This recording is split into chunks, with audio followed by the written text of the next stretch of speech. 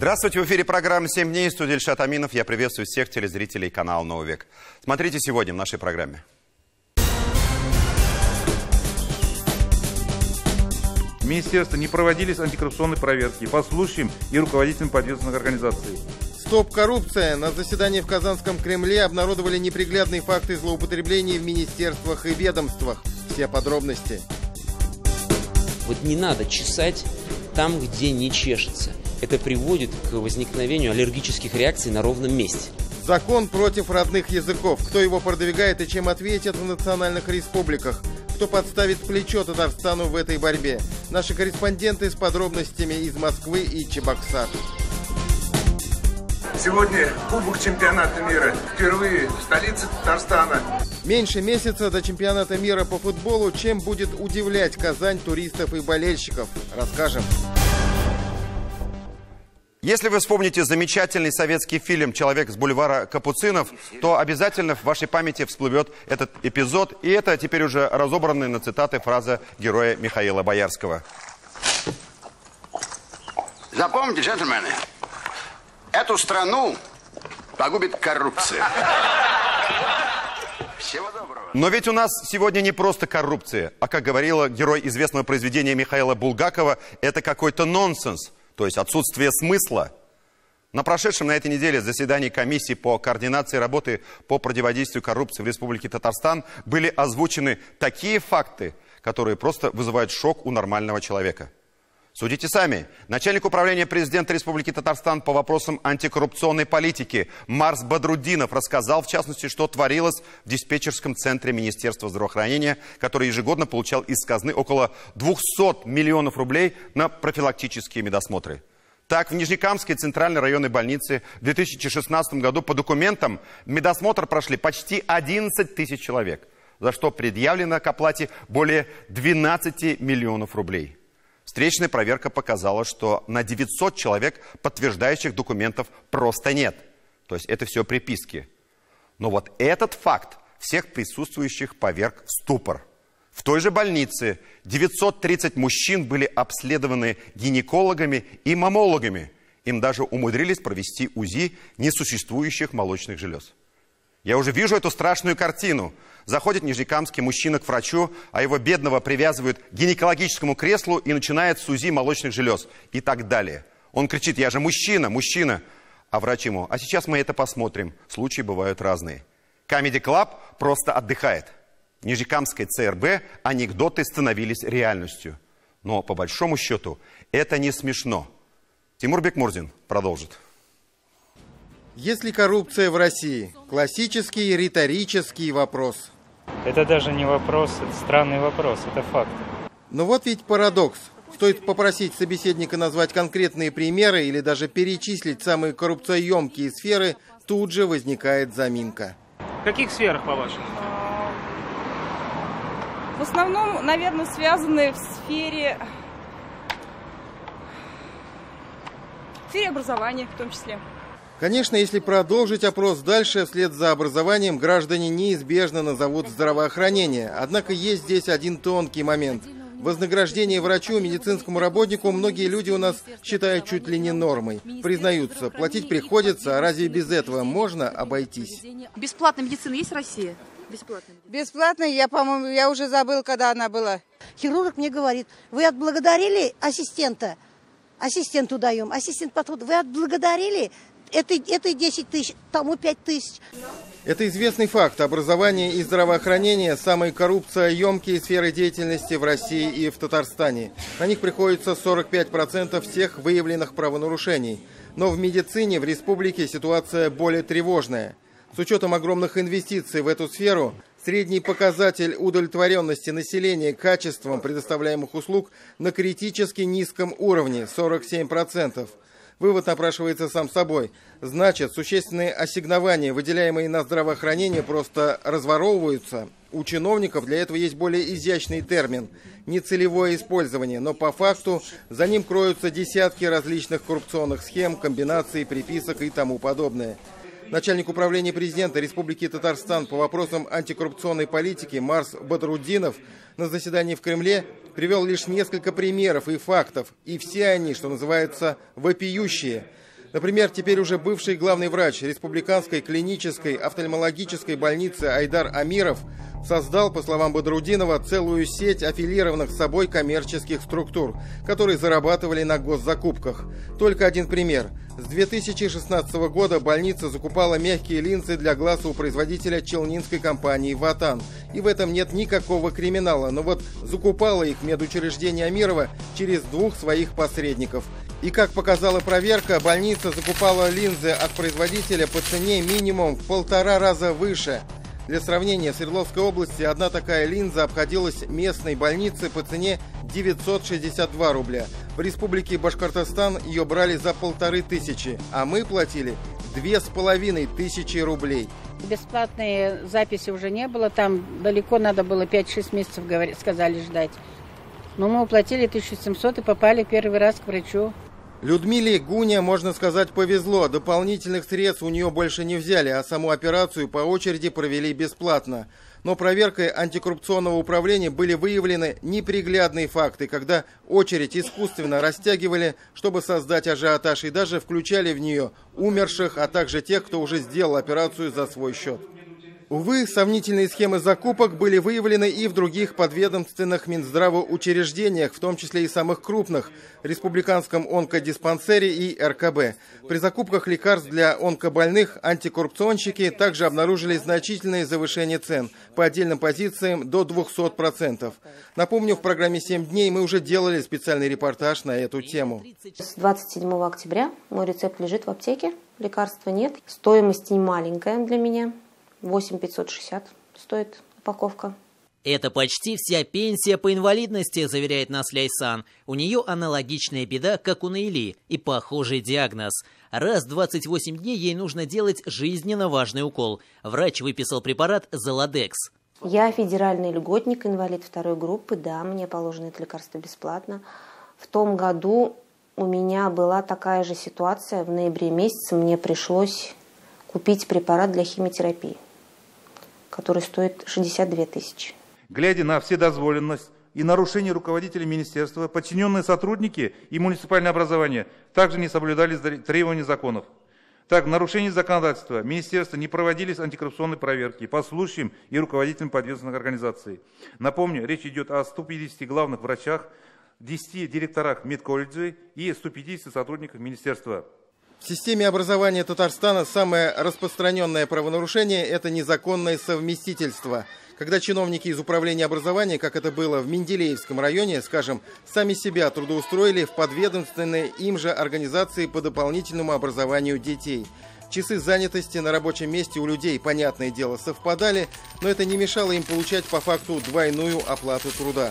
Подработка в коммерческих структурах вообще явление обыденное для многих муниципальных чиновников от образования и здравоохранения. Похожие случаи зафиксированы в Апастовском районе, в Казани и в Нижнекамске.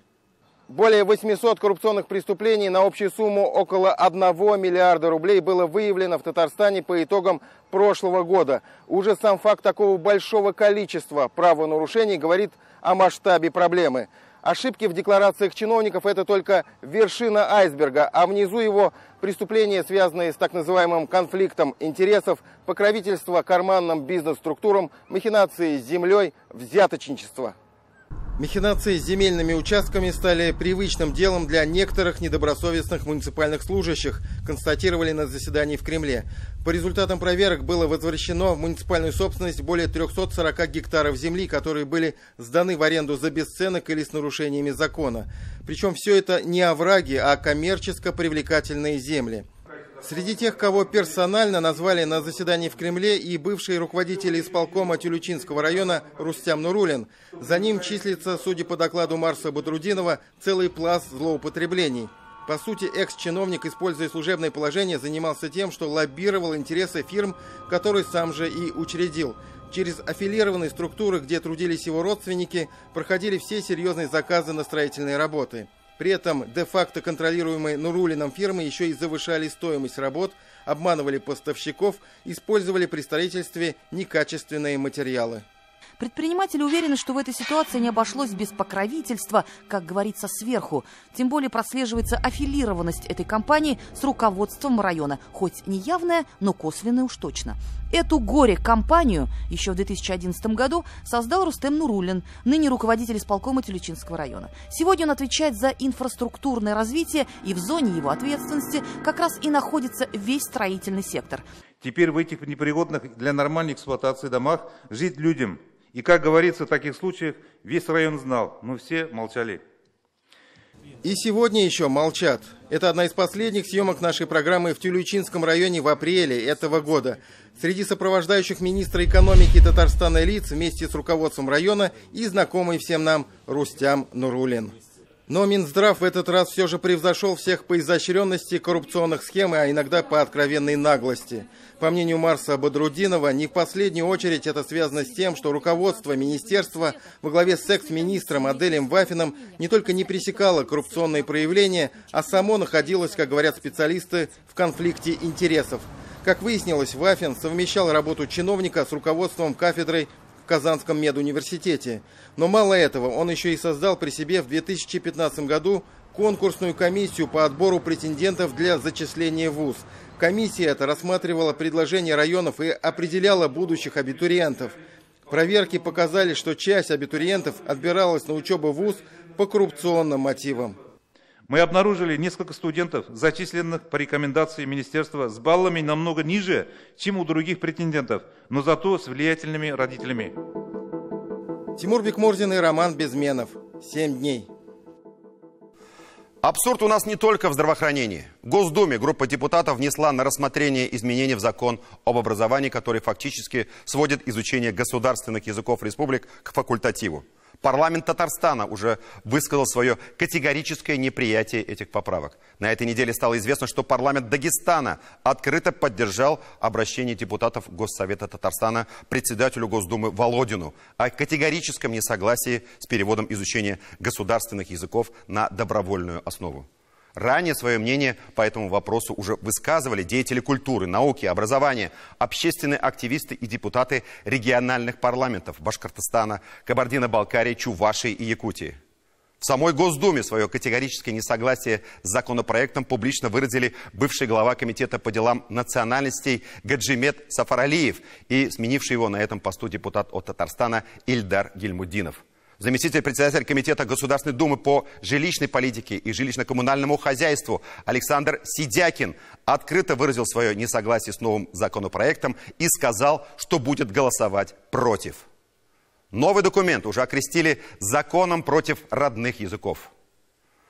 В итоге из-за давления общественности и большого резонанса закон о родных языках решили отложить на осеннюю сессию. По сути, это шаг уже можно считать определенной победой. Но что будет после летних отпусков? Какое решение примут федеральные власти? Вопросы, на которые нужно отвечать сейчас. Подробности у Эльзиры Юзаевой.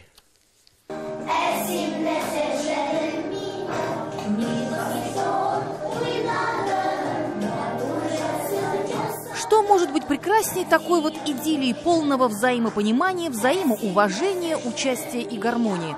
После осеннего переполоха страсти по татарскому языку в школах улеглись, нервы успокоились, уроки вернулись в привычное русло. У нас именно изучение татарского языка проходит э, в таких мирных, именно мирной атмосфере.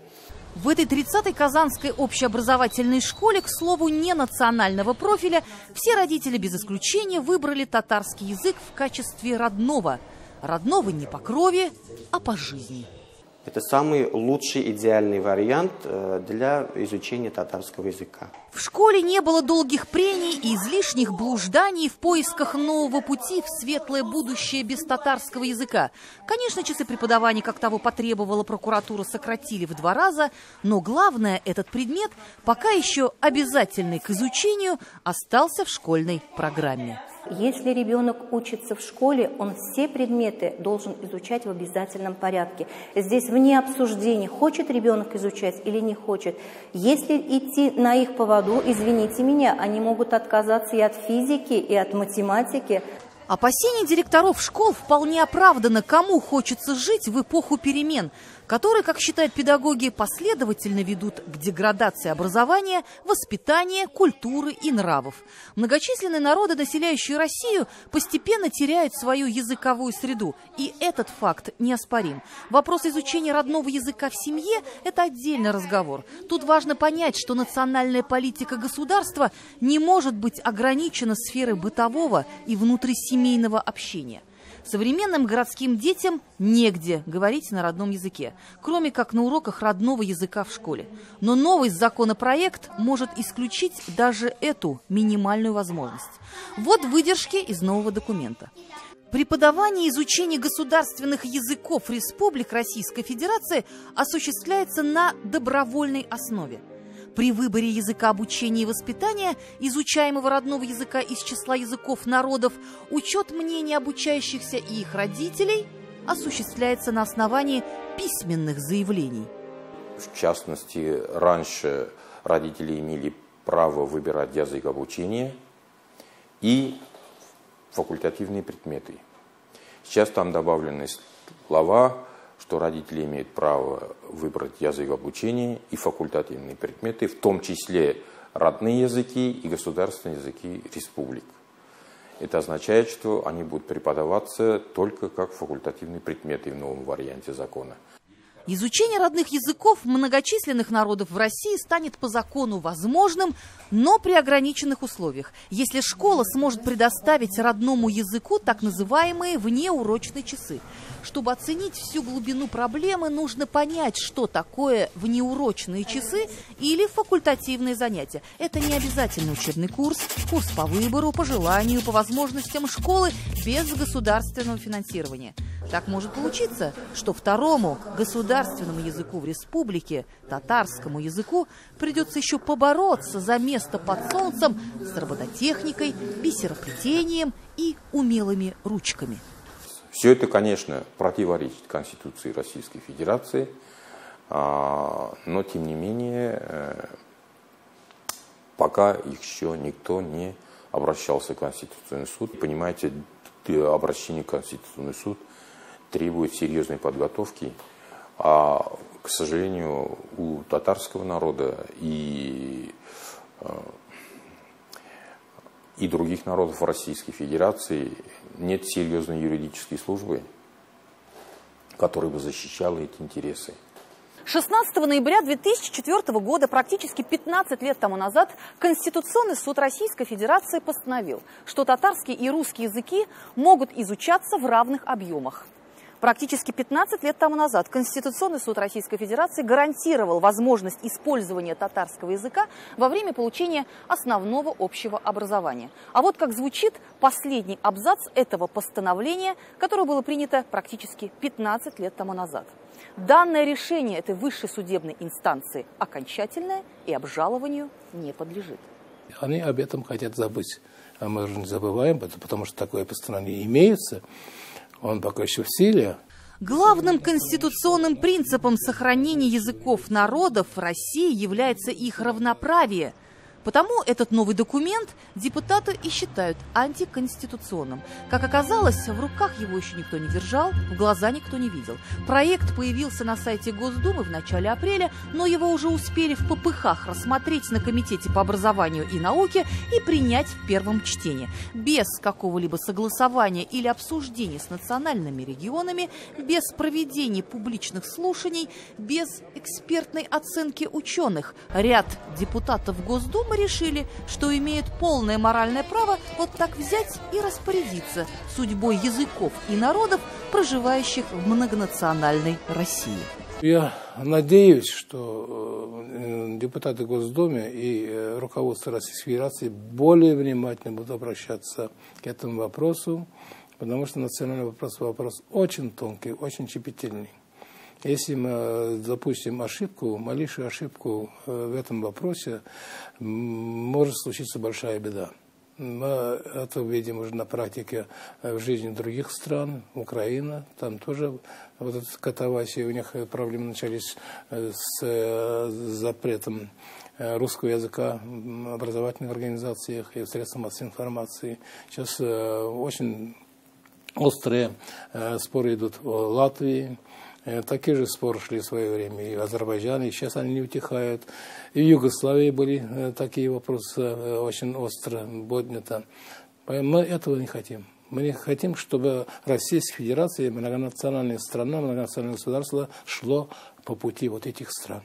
міне мында енді идел дәулет су транспорт университеті федерал дәулет бюджет жоғары білім Два государственных флага и таблички на двух государственных языках. Директор Волжского университета водного транспорта после вступления в должность год тому назад первым делом все госатрибуты привел в соответствие с законом. Язык, где ты живешь, это обязательно. Тут даже вопросов не может быть. Такая международная обстановка тяжелая. Еще не нужный вот такой национальный вопрос поднимают э, внутри. Это мягко говоря, неприятели только могут сделать. Не надо трогать, у нас все прекрасно, живем, понимаем, а внутри как-нибудь разберемся сами. Телеләрен саклап калырга теләгән ата-аналар безгә балаларын алып килделәр. Чөнки инде киләчәктә әйтеп булмый, мәктәптә нинди вазгы айтылачак иртәгә балаларны инде хәзердән үк тел ачылганчы татарча өйрәтеп калсалар, алар өчен дә ул файдалы. Этот частный татарский детский сад появился в сентябре 2017 года. Тогда, когда в школах шли прокурорские проверки, начали сокращать часы преподавания и увольнять педагогов, родители стали искать дополнительную возможность изучения родного языка, пока его совсем не отменили. Ильзира Юзаева и Роман Безменов «Семь дней». Мы уже не раз подчеркивали в нашей программе, что проблема изучения государственных языков в национальных республиках – это не просто проблема образования. Это вопрос сохранения России как федеративного, многоконфессионального и многонационального государства. Давайте не забывать, что многие эти принципы прописаны в главных документах, определяющих нашу жизнь. В Конституции Российской Федерации и в Конституции Республики Татарстан, которая, к слову, была принята раньше действующей российской. Цитируем в сотый раз статью 8 Конституции Татарстана.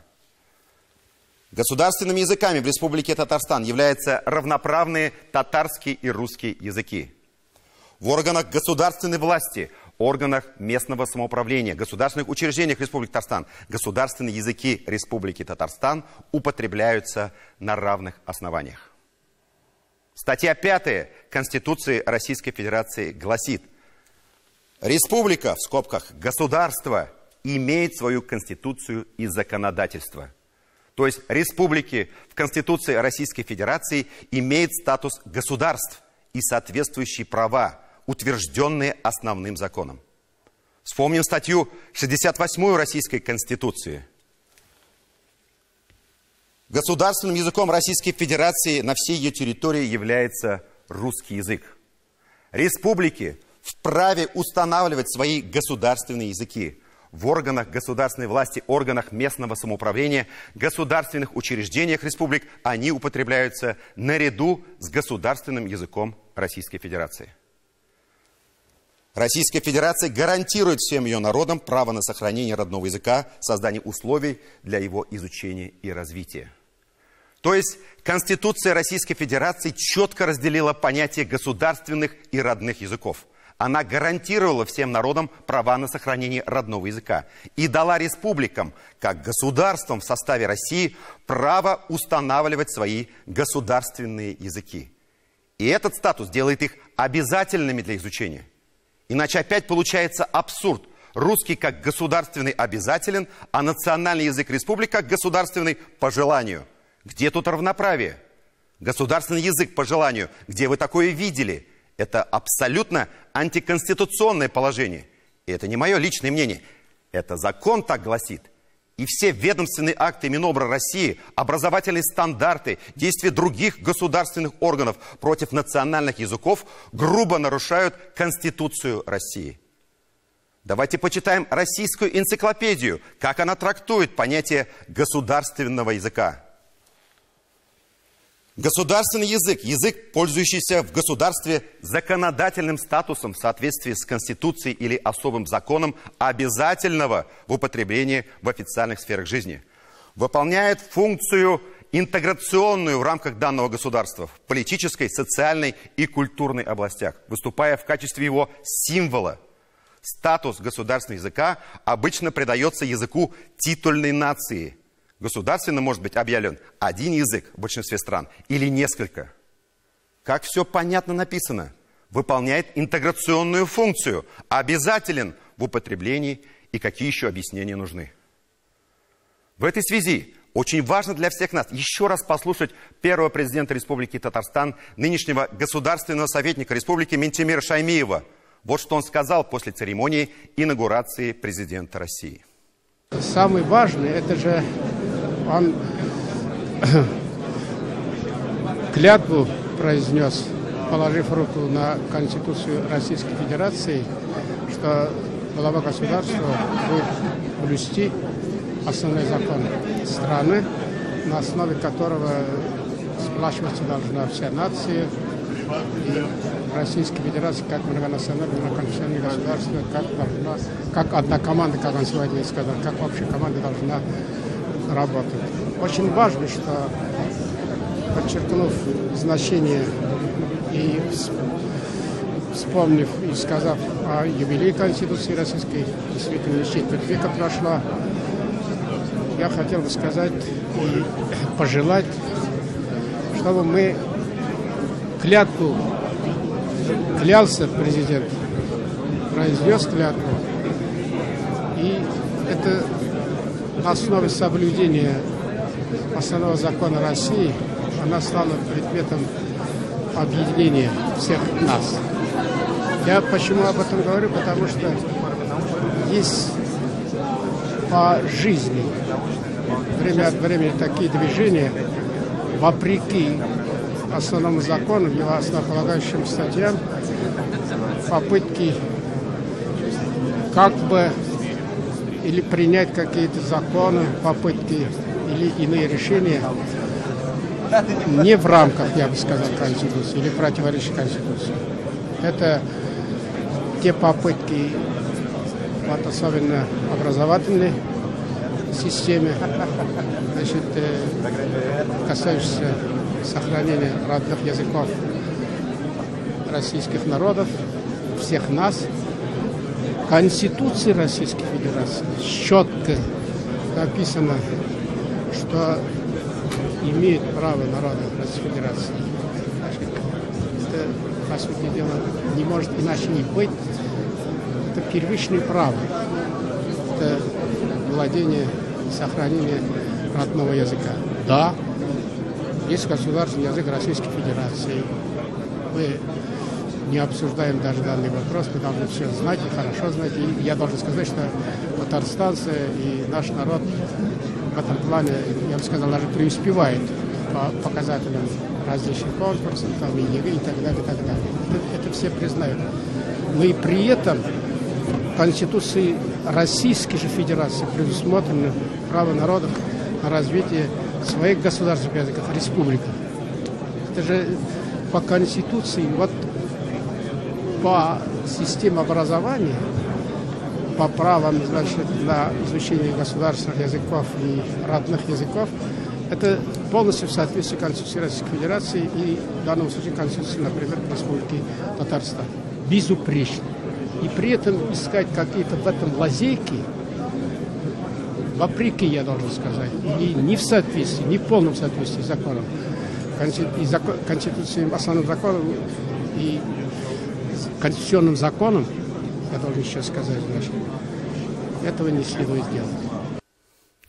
Вопрос на самом деле не просто серьезный и очень острый, но и болезненный, затрагивающий интересы множества людей. Очевидно, что простых решений здесь нет. Но для нас, для россиян, это еще дело чести, особенно в нынешней непростой ситуации в мире, когда идут притеснения прав носителей родного языка. Мы все знаем и внимательно следим, как притесняют права русскоязычных людей на Украине, где принимают, как справедливо пишут российские СМИ, неприемлемый в цивилизованном мире закон об образовании. Русскоязычные жители Латвии выходят на улицу с протестами, когда русский язык убирают из школьной программы. Мы говорим через наши федеральные издания и телеканалы, как такое в принципе возможно в современном мире – и справедливо приводим примеры стран Европы, ту же Швейцарию или скандинавские государства, где спокойно действует сразу несколько государственных языков. А почему тогда нам под таким же углом зрения не посмотреть на языковую ситуацию внутри страны? Другой ключевой тезис. Разве не понятно, что ущемление прав государственных языков в национальных республиках ведет к расколу общества, к очень опасному разделению ее граждан по национальному признаку? Ведь мы же видим, чем заканчиваются рассуждения о ненужности изучения татарского языка в Татарстане. Противники татарского языка уже намекают, а зачем вообще нужны республики? Это явно лишнее образование. Да здравствует единообразие, губернизация России. К чему нас может привести такая политика? Даже страшно подумать. Тимур Бекмурзин продолжит. Это предмет, который не приносит э, знаний, не приносит пользы. Михаил Щеглов не дает татарскому языку в Татарстане ни единого шанса. Звучит нелепо, даже дико. Вряд ли такое представить возможно в цивилизованной европейской стране. Но оголтелые, по-другому не скажешь, противники изучения татарского языка в Татарстане не приемлют никаких компромиссов. Теперь уже и методики преподавания, количество часов их не волнует. Главное сказать звучное и решительное «нет». Они будут ходить на ваши эти, как сказать, уроки, будут там сидеть, но ничего мы учить не будем. И то, что пишут везде суверенитет, суверенитет, все, кончился суверенитет. Одна из наиболее принципиальных и ярых противниц изучения татарского языка Ольга Зейдинова-Гавриленко, верная соратница Михаила Щеглова и участница протестов. В Казани многим известно благодаря скандальному комментарию экстремистской направленности, оскорбляющему татар. Позже Зейдинова Гавриленко объяснила, что унижающие татар записи оставил ее сын, которого, с ее слов, принуждали изучать татарский язык. В интернете распространяется скриншот, где вы говорите якобы, что татары чаплашня. Это правда или нет? Это мой ребенок, во-первых, выложил. Вот, это во-первых. Я уже извинилась, меня не было с пяти вечера. Дальнейшее развитие истории выглядит совсем уж некрасиво. Если верить данным телеграм-канала «Татарская Якудза», не так давно в квартире Ольги Зиадиновой прошел обыск. Проводился он в рамках расследования дела, которое завели на женщину в феврале этого года. Ее подозревают в нарушении закона по статье 282 УК РФ «Возбуждение ненависти или вражды». Авторы телеграм-канала утверждают, что следователями в квартире Зиединовой были изъяты компьютер и электронные носители – Среди них была обнаружена запись с развратными действиями Зиадиновой по отношению к своему нетрезвому супругу. Следователи выяснили, сообщает авторы телеграм-канала, что видеозапись производил несовершеннолетний сын Ольги Зиадиновой. Если и что-то там есть, какой-то якобы видеоматериал, что это совершенно сфабрикованное постановочное видео. Она адекватный человек, вот эта Ольга Зиадинова? Достойный член общества? Ну, я считаю, что да. Если бы только одна Зиадинова отличалась воинственной позицией по данному вопросу. Почитайте, что пишут отдельные противники татарского языка на форумах. Ведь это же ни в какие ворота не лезет, извините. Когда уже им прищемят, Путину пусть скажут про обязаловку своего Татьяза. Гнать тряпкой в Америкосию. Вот Сталина на них нет, ей-богу. По-хорошему не хотят решать. Дикий народ. Люди есть, которые эмоционально это э, заряжены, и вот из них начинает переть вот это все. Стыдно унижать представителя другой нации. Стыдно унижать другой язык и культуры. Мы не были такими. Поэтому я людей, которые выступают за разрушение России и за разрушение Татарстана, считаю, что это вненациональные, не понимающие какие-то, не знаю, элементов, пусть не обижаются только, но ну, для меня они не русские. Для меня русские это Пушкин, Лермонтовцы. И я сталкивался, личное оскорбление в том смысле, что чурка, там, чеплашка, ты там защищаешь там, своих татар, коррупционеров. Дело в том, что э, есть хорошая социология, исследования относительно того, что э, вообще повестку и смыслы и так далее диктует меньшинство. Есть понятие агрессивного меньшинства. Вот. И часто это агрессивное меньшинство, оно настолько громко кричит, что как будто идет, стоит ор как будто большого количества людей. Здесь, вы правильно подчеркнули, они никого не представляют, потому что а, русское общество, русская община, вообще русское население, не только русское – настолько толерантны и, так сказать, настолько мы вжились друг в друга, что никаких вопросов не существовало. У меня много друзей русских, которые, выезжая за пределами Татарстана, говорят, что мы татары. То есть... Тролли, купленные, заказные, В Москве есть группы, которые заинтересованы, чтобы раскачать там и прихватить собственность какую-то. Это, а там, когда жадность э, возникает, то там уже нет никаких границ. Все позволено, лишь бы это ухватить и умчаться куда-нибудь подальше. Я думаю, дело не в русских. Я думаю, в каждом народе есть там 5-10%, которые хотят скандала. Вы знаете, вот э, среди русских вы только что сказали. Вот ввиду того, что я защищаю татарский, меня пригласили во все, на все татарские сайты, во все татарские группы. Вы знаете, и среди татар точно так же есть 5%. Сторонников обязательного изучения татарского языка в республике явное большинство, и это надо учитывать. Павел Шмаков приводит еще один веский аргумент в пользу политики билингвизма – опыт европейских стран. Знаете, как в Финляндии красиво решили языковой вопрос? Вот э, финская школа, приходят дети в первый класс, учат финский язык. В третьем классе они обязаны выбрать еще один иностранный язык. В пятом еще один. И в седьмом третьем, в пятом, в седьмом. Три языка, еще кроме финского. Из этих трех языков один обязательно шведский. То есть все знают финский и шведский, и все в Финляндии дети и взрослые знают четыре иностранных языка. Эти аргументы на Михаила Щеглова и его соратников пока не действуют. И могут ли подействовать в принципе? Большой вопрос. Слишком разные позиции. Республика Татарстан зачем? Государственность зачем? Вот, вот, вот, ну, если вот я вот, например, вас спрашиваю, вы меня спрашиваете, а я вас. Вот зачем? Ну зачем государственность нужна еще, если есть инструмент э, национальной культурной автономии?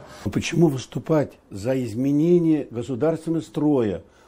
Это, за это привлекали к уголовной ответственности. И это правильно, посмотрите. Основы конституционного строя, они незыблемы. Конституцию принимали все жители республики и страны. Мы голосовали за эту конституцию. Поэтому это воля народов, вот, и не этим людям определять, что правильно, что не так. Дискуссии возможно, но в рамках приличия и в рамках правовой а, какой-то рам- системы. Тимур Бекморзин и Роман Безменов. Семь дней. Мне хочется сказать всем этим людям, читайте Российскую Конституцию, Конституцию Татарстана и уважайте основной закон. И, честно говоря, с этими господами давно все понятно. Меня больше волнуют другие – Среди депутатов Госдумы, авторов закона против родных языков, представители национальных регионов.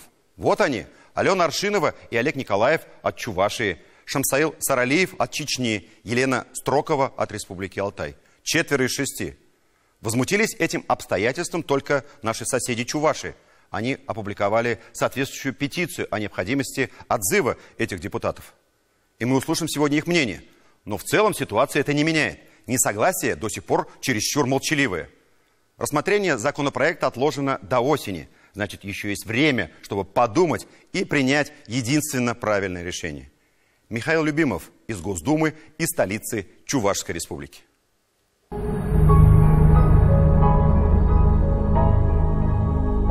Это здание на Охотном ряду в Москве, здание Госдумы Российской Федерации, наверное, представляет сегодня собою самый большой почтовый ящик страны. Именно сюда, в это здание сейчас летят телеграммы, письма, обращения, просьбы, пожелания от жителей страны. От жителей, конечно, в основном национальных республик. А просьба-то одна. Госдума должна крепко подумать, прежде чем принять такой закон. Наших депутатов, депутатов от Татарстана, особо упрашивать уже не нужно, как нас заверили сегодня именно здесь. Единая позиция по этому вопросу выработана и выработана давно. Другое дело, что депутатов, наших депутатов, 15. Пока. В моем только комитете 26 э, обращений, э, из них э, там 23 против принятия закона и всего 3 за поддержку. Никакой гарантии, конституционной гарантии, которая говорит о том, что государство гарантирует изучение родных языков и государственный язык республик, никакой гарантии не пахнет. То есть а, могут изучать, могут не изучать, как в данном случае формировать педагогов, то есть как готовить педагогов, в каком количестве, как нам а, быть с программами. Непростой законопроект э, и очень непростое к нему отношение. Я заранее могу предположить, что здесь никогда не будет консенсуса. У меня э, возникают вопросы, каким образом мы должны планировать бюджетное ассигнование. Все, что касается общего образования, просвещения, образования в школе, дошкольного образования, это полномочия субъекта Российской Федерации. Соответственно, тогда, когда мы на свои полномочия формируем бюджетное ассигнование, когда мы обосновываем бюджетное ассигнование, мы обосновываем, исходя из полномочий, исходя из э, детально просчитанного объема. Когда мы говорим о понятии добровольности, здесь, э, знаете, невозможно просчитать эти детальные объемы. Какие объемы, непонятно. Да. Как готовить учителей, сколько их должно быть? Каждый да? год должны проводить. В общем, огромное количество вопросов. Я отрицательно отношусь к этому закону, потому что считаю, что если это добровольный будет, то постепенно мы потеряем специалистов, которые смогут в конечном итоге преподавать а, родной язык. Это связано не только же с татарским языком, это связано со всеми родными языками, которые у нас в России есть. И в конечном итоге а, язык начнет умирать. Это мое мнение. Вот тот законопроект, который внесен, это уменьшение гарантий по государственному языку, уменьшение гарантий реализации э, федеративного характера нашего государства. И это э, история, которая э, ну, в русском языке есть поговорка такая, не надо чесать там, где не чешется. Вот если бы я владел татарским языком, я бы, наверное, вам сейчас сказал на татарском, как это звучит. Но, наверное, не менее вкусно и смачно. Вот не надо чесать там, где не чешется. Это приводит к возникновению аллергических реакций на ровном месте. Вот то, что сейчас пытаются коллеги предложить, в своем закон, законопроекте. Это история с минусовым оттенком в нашем татарстанском обществе. И мы, конечно, ее поддерживать не будем. Я в любом случае э, предприму все возможное, что сейчас от меня зависит. Для меня вопрос важен, для моих коллег. Поэтому что мы сделали? В первую очередь мы собрали совещание э, с собрались вместе с моими коллегами, депутатами от Татарстана и выработали единую позицию. Это очень важно чем она заключается? А в том, что изучение национальных языков должно быть интегрировано в общий образовательный процесс. Нельзя отдавать это на откуп э, местным властям, иначе э, получится, мы будем петь абсолютно разные партии в этой достаточно серьезной общей, собственно говоря, игре. А, поэтому я полагаю, что мы будем консолидированно, все депутаты Татарстана, работать, э, отстаивать свою позицию. В любом случае, рассмотрение этого законопроекта, работы над этим законопроектом, мы должны выйти к таким решениям, которые ни в коем случае э, не будут ущемлять права э, наших граждан на изучение родных языков. Ни в коем случае. Дойдет до голосования, значит, вот и будет принят, значит, я сомневаюсь, потому что работаем. Немедленно создать, значит, вот там комиссию. Одно дело, значит, вот руками махать на госсовете, а другое дело конкретно, значит, вот заниматься. Вот. И работать, значит, вот Фарид Хайлович не раз приехать тоже. И убедительно прошу, значит, Рустам Нургалевич, значит, вот, как говорится, сам занялся этим вопросом. Тогда, я думаю, значит, уверен, будет успех. Это ведь позиция не только нас, татарстанских депутатов, это позиция и депутатов и других регионов, и других а, народов э, страны, поэтому... То есть пока чуть больше, чем 15 против, да? Нет, не чуть, а больше. И поэтому я э, думаю, что мы вот конструктивно к этому э, взаимоприемлемому, удовлетворяющему э, все стороны условию э, придем. Сегодня в республике проведена огромная работа. Мы учли все замечания прокуратуры и всех проверяющих э, структур. И я не вижу предметы, проблемы, которые здесь сегодня существуют. А если есть какие-то нарушения, допустим, в других регионах, но это мое личное мнение как законодателя, я думаю, что есть моменты, которые можно подзаконными актами урегулировать. Я буду голосовать э, так, как говорят народы Татарстана. Я полностью разделяю позицию президента, полностью разделяю позицию первого президента, опасения всех народов Татарстана. Я буду голосовать так, как говорит моя совесть и мое сердце. Наших голосов 15 татарстанских депутатов не хватит, конечно, чтобы заблокировать этот законопроект, но я совершенно точно буду голосовать, если дойдет до рассмотрения, буду голосовать против. И буду призывать всех коллег голосовать против. Я думаю, что э, мы еще в начале пути, и нам предстоит много сделать. Язык мой, враг мой. Наверное, именно так теперь думают те депутаты Госдумы от Чувашской республики, которые поставили свою подпись под этим законопроектом. Здесь, в Чувашии, в Чебоксарах, безусловно, обратили внимание на это обстоятельство, которое мы в Татарстане посчитали бы просто нереальным. Обратили внимание на то, что неприкосновенными должны быть не депутаты, а языки.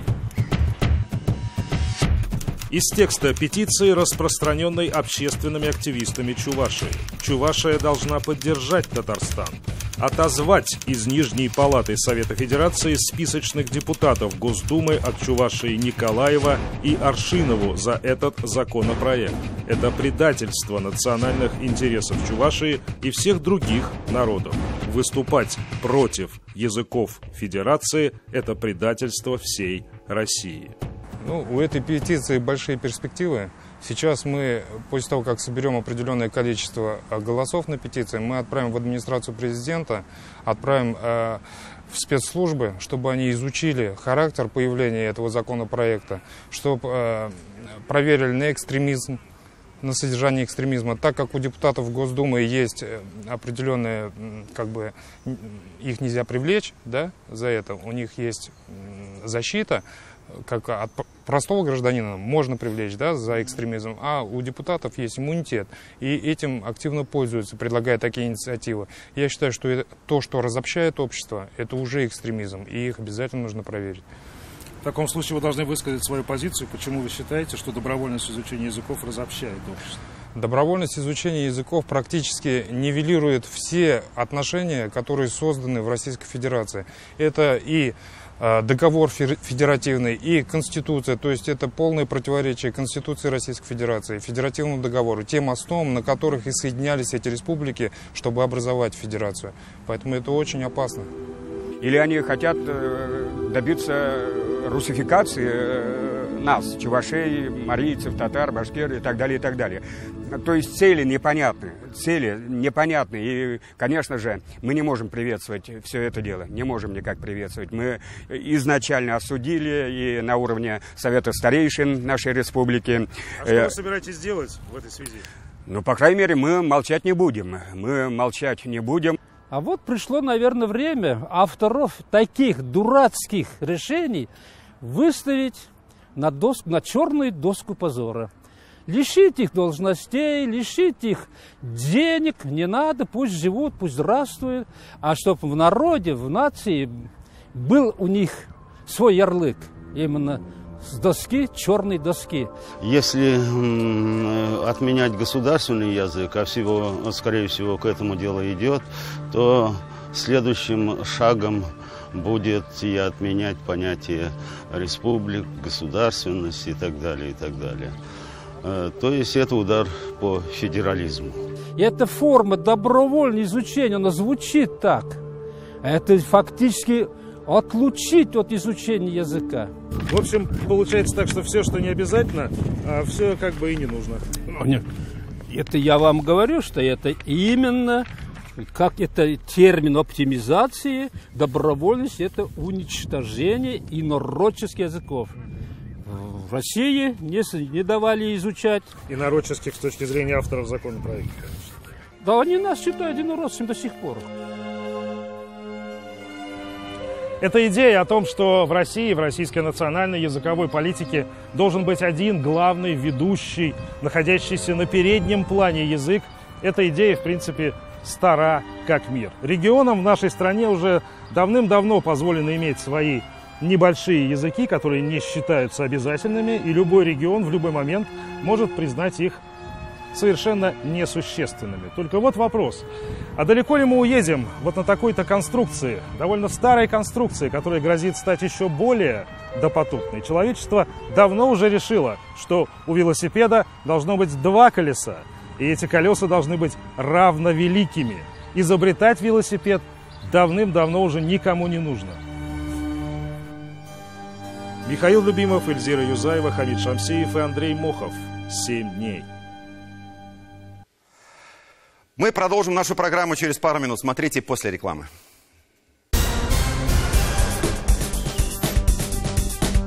Сегодня Кубок чемпионата мира. Впервые в столице Татарстана. Меньше месяца до чемпионата мира по футболу. Чем будет удивлять Казань туристов и болельщиков? Расскажем.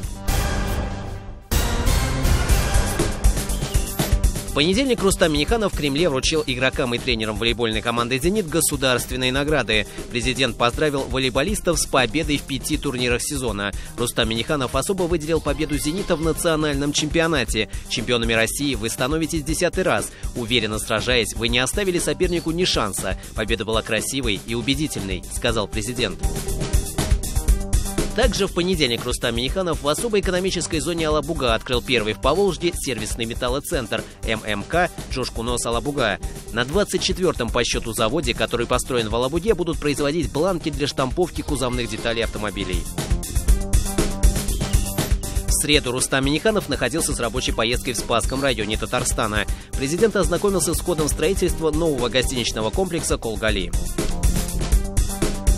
четверг с двухдневным рабочим визитом Рустам Миниханов посетил Китайскую Народную Республику, провел встречи с руководством провинций Джэньцзянь и Фудзянь, посетил ряд промышленных компаний и принял участие в деловом форуме «Татарстан-Фудзянь» воскресенье на площади Тысячелетия в Казани прошел традиционный казанский марафон. Среди участников забега и президент Татарстана Рустам Миниханов.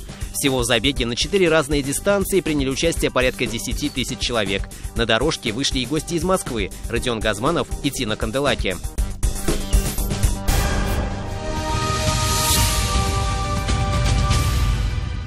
Продолжаем программу «7 дней» к другим темам. До начала чемпионата мира по футболу осталось 26 дней. Татарстан в предвкушении большого спортивного праздника. Казань на 97% готова к проведению Мундиаля. Такую оценку на этой неделе дал министр спорта Татарстана Владимир Леонов. За четыре недели до старта мирового первенства на матчи, которые пройдут в Казани, продано 95% билетов. Причем 53% приобрели иностранцы – четверг в столице Татарстана прошло, пожалуй, самое главное событие подготовительного этапа. В Казань прибыл главный трофей игр – Кубок чемпионата мира по футболу. Он сделан, кстати, из чистого золота. И, к слову, главный приз с января по апрель посетил более 90 городов в 50 странах. В течение трех дней у казанцев и гостей столицы была уникальная возможность своими глазами увидеть этот главный футбольный трофей и сфотографироваться. Сейчас на улицах города продолжаются дорожные работы. На Казань-арене завершаются последние приготовления. Обо всем подробнее Сергей Темляков. Вся сфера гостеприимства готова. Какие сюрпризы и интересные мероприятия Казань приготовила для болельщиков и гостей чемпионата? Мы решили расспросить об этом Дарью Санникову. Появились новые экскурсии и маршруты, отмечает руководитель столичного комитета по развитию туризма. В этом году с 1 мая стартовал у нас новый маршрут у этого автобуса. Помимо исторического культурного центра мы еще добавили левый берег Казанки. Продолжительность экскурсии полтора часа на восьми языках. Для любителей ночной жизни тоже появилось уникальное предложение. Воспользоваться им можно с 10 вечера и до рассвета. Одна из новинок – это вот ночной мьюзик-бас. Это проект совместный с нами и ночной мэрии. Помимо того, что ты можешь покушать внутри этого автобуса, послушать прекрасную музыку, так еще и а, получить информационные данные о городе Казани. Первая наша остановка – татарская усадьба. Здесь болельщики смогут оценить национальный колорит, а в контактном зоопарке познакомиться с главным казанским оракулом. Если в Германии был осьминог Пауль, то у нас свой казанский предсказатель – козел Борис. Борис, не жуй. Он уже год предсказывает результаты матчей хоккейного клуба «Акбарс» и ни разу не ошибся. Сегодня мы попробуем предсказать итоги игры первого матча чемпионата мира по футболу в Казани между Францией и Австралией. Ну что ж, мы разложили два кочана. Франция, Австралия. Кто победит в первом матче чемпионата мира по футболу в Казани? Борис, пожалуйста, предсказывай. Отмечу сразу, Борис предсказывает только на сытый желудок. Судя по тому, что оторвал два листа капусты, счет будет 2-0 в пользу Франции. Мы собираемся поставить на нашей летней веранде телевизор, большой телеэкран. Как и все рестораны и кафе, говорит шеф-повар Умия Муратова, переходим на усиленный режим работы. В штате поваров пополнение. Меню перевели на разные языки. Подготовили мастер-классы, где болельщики смогут попробовать сами испечь национальные блюда. Удивлять гостей в усадьбе решили татарстанскими мини-сетами. У нас два вида, как бы отдельно с мясом, отдельно сладкие. Значит, мы хотим, чтобы наши мини-сеты. Люди все попробовали, это делаем в маленьких пропорциях, чтобы можно на как бы называется на один укус. Большое количество французов к нам приедут, ну и испанцев. Кто он болельщик, который приедет в Казань? Дарья отмечает, в топ-5 также входят австралийцы, колумбийцы и китайцы. Будет много и российских фанатов. От себя добавлю, есть уже прогнозные цифры. Туристы, приехавшие в Казань на чемпионат, потратят 20 миллиардов рублей. Там будет очень много стилизованных вечеринок, именно по те команды, которые к нам приезжают, в стиле том, который любят эти команды. Например, для иранцев будет выступать их любимый певец Араш. Останавливаемся у Кремля. От Казанского Кремля можно доехать до фонтана любви в Ленинском садике. Вот, и плюс ко всему можно сделать фотосессию. На набережной Сочи есть такой проект. Вот, а так, э, вы знаете, наверное, э, в центральном парке Нью-Йорка есть такие рикши.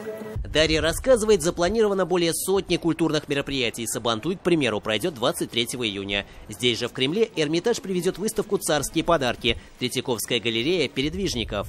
Будет фестиваль в Кремлин Confederation of Art. Вот мы и доехали до самой популярной точки для фотографий, которые советуют посетить всем гостям. Александр Дюма сказал, здесь церковь и, меч- и мечеть соседствуют, а здесь э, крест и полумесяц э, получили такое дружеское братство, которое нигде не встретишь, кроме как в Казани. Вернувшись в автобус, расспрашиваем Дарью, какие сувениры заготовлены. Оказывается, больше всего шито тюбетеек, шелковых платков с национальными орнаментами и татарских кукол. Что сделано для удобства? Обновлена навигация, по городу установлены новые указатели. С 1 июня начнут работать информационные шатры, где можно будет получить справку на шести языках. Впереди площадь тысячелетия. Три, два, один... Сегодня Кубок чемпионата мира, посетивший 50 стран, впервые в столице Татарстана. В течение трех дней жители и гости республики смогут увидеть главную футбольную реликвию. Вот он, главный трофей из чистого золота. Весит кубок 6 килограммов 142 грамма. В Казань его привезли в четверг. Болельщики решили не упустить уникальный шанс. Даже были не против постоять в очереди, чтобы сфотографироваться с главным призом чемпионата.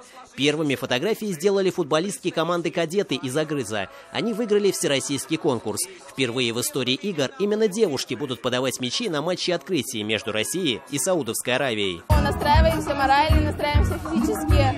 У нас просто переполняют эмоции, и мы не можем пока с холодным рассудком это все принять. И у них будет право стоять на расстоянии вытянутой руки от известнейших игроков мира. Мне кажется, это очень сильный мотивационный фактор для них и будет большой стимул для тех, кто будет смотреть эти игры.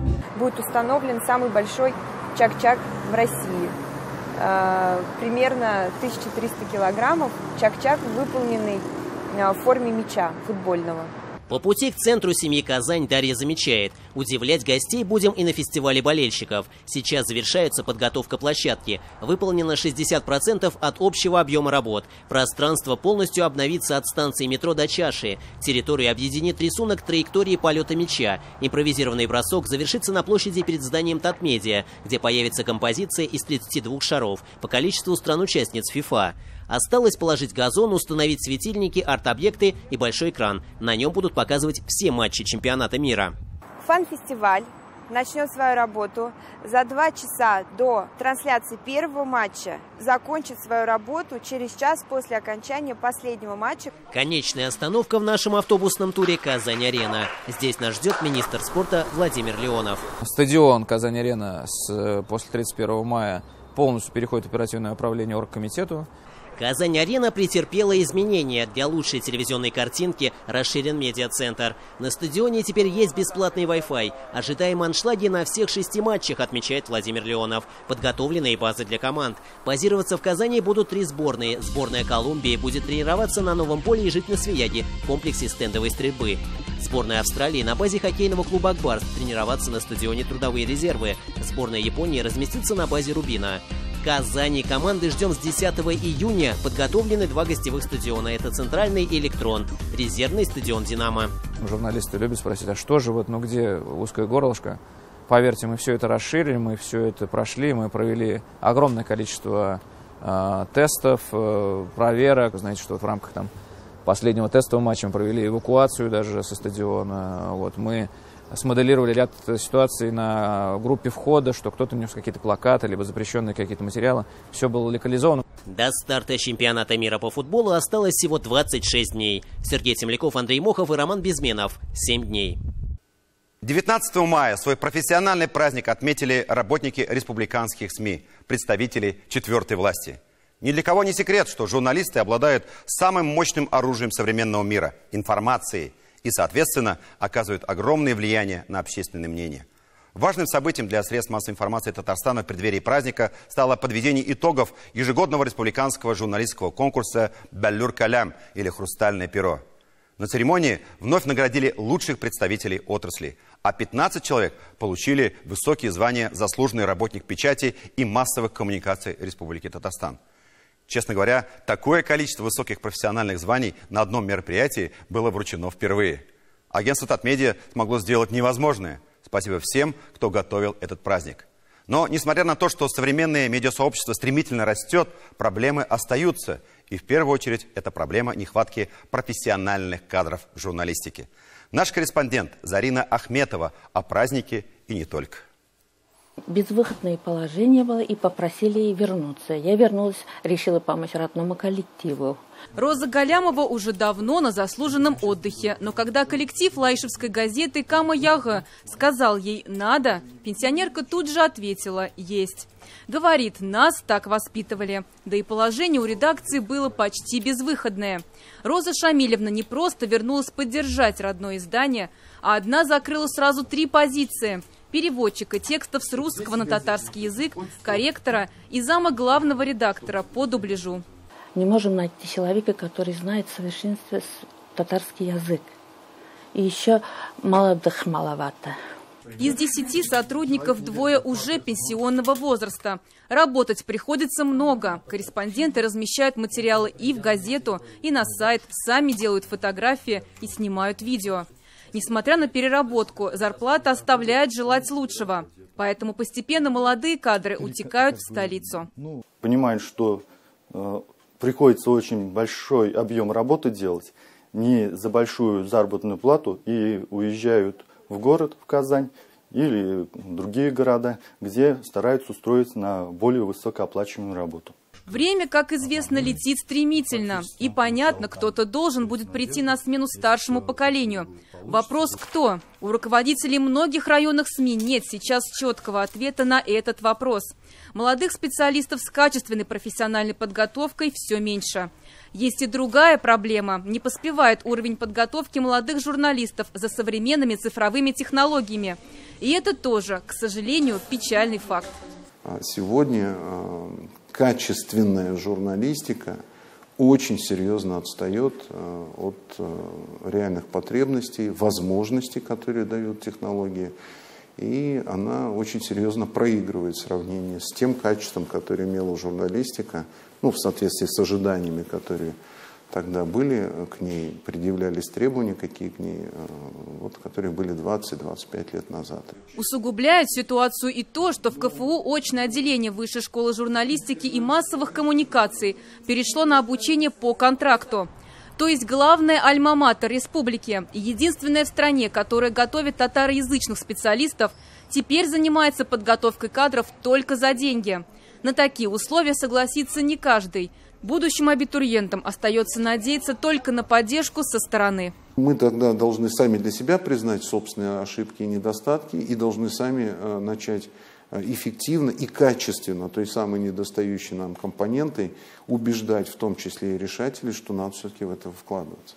Есть еще один, конечно, механизм, он опробирован на реальном секторе экономики очень хорошо. Э, это когда работодатели все-таки начинают участвовать в процессе подготовки. Пока что к такой практике прибегнул только телеканал ТНВ. Здесь справедливо решили, стенания о кадровом голоде не помогут. Нужно самим действовать. Конкурс Айдана ТНВ, который завершился на этой неделе, как раз-таки шанс для талантливой молодежи проявить себя и стать полноправным сотрудником главного телеканала республики. Приз для победителей – целевой грант ТНВ на обучение в Высшей школе журналистики и медиакоммуникации КФУ. По итогам конкурса из 41 претендента были выбраны трое лучших. Я с пятого класса начала писать стихи, да, и вот постепенно э, начала, ну, рассказы тоже писать, и мне очень интересно э, узнавать э, первые новости и об этом тоже рассказать другим.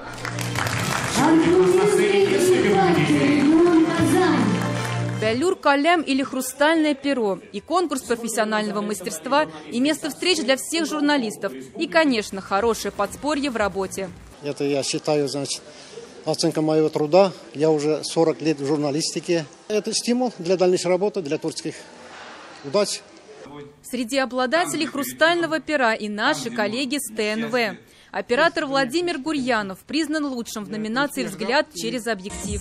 Главный декоратор ТНВ Альберт Гараев отмечен за вклад в развитие средств массовой информации. Бессменный ведущий детской программы «Куштанеш» Альфинур Хисамовой вручили хрустальное перо за верность профессии. Автор и ведущая популярного ток-шоу Таяна Нактасы Венера Аитова получила премию в номинации «Имя в журналистике». Ну, даже слов не хватает. Это потому что моя первая победа, это моя первая статуэтка, э, первый такой диплом большой. Я очень рада, счастлива. И, конечно, хочется сказать очень большие искренние слова благодарности и организаторам, а, моим коллегам. Обладателем гран-при 21-го конкурса «Хрустальное перо» стал заместитель главного редактора газеты «Ватаном Татарстан» Габдулбар Резванов. Ему вручили символ конкурса и ключи от автомобиля. Специальная номинация конкурса признания в этом году присуждена государственному советнику Республики Татарстан Нитимеру Шаймиеву. Еще 20 лет назад «Хрустальное перо» собирались вручить первому президенту Татарстана, как человеку и руководителю, открытому для СМИ. Однако тогда Ментимир Шарипович убедил членов конкурсной комиссии не делать этого. И вот, спустя два десятилетия, председатель Союза журналистов Рима Ратникова под аплодисменты всего зала вручила Ментимеру Шаймиеву долгожданную премию в специальной номинации конкурса «Признание». Делаем одно дело. И делаем ради нашего будущего, для наших детей, за будущее и за ту дружбу, которая есть. Когда есть, надо беречь. Это наше богатство. Так что здоровье, вместе и дальше жить, работать, созидать. Зарина Ахметова, Роман Безменов. Семь дней. На этом мы завершаем программу. Недавно я снова услышал историю самой пронзительной песни о войне «Журавли». Дагестанский поэт Расул Гамзатов написал это стихотворение на родном аварском языке. Изначально некоторые строки звучали так – мне кажется порою, что джигиты с кровавых непришедшие полей в могилах братских не были зарыты, а превратились в белых журавлей. Они летят, совершают путь свой длинный и выкликают чьи-то имена. Не потому ли с кличем журавлиным от века речь аварская сходна? Через три года друг Расула Гамзатова, поэт Наум Гребнев, перевел это стихотворение на русский язык и опубликовал его в журнале «Новый мир». Именно в этом журнале стихотворение и увидел Марк Бернес, который услышал в нем что-то свое. Он попросил авторов немного изменить слова, а своего друга, композитора Яна Френкеля, написать музыку. Вот так представители разных народов создали великую русскую песню о войне, корни которой в мелодичном аварском языке. Именно в этом сплаве народов и культур сила России. Давайте не будем это забывать. Барғызғада ең изгі тіләкләр. До свидания.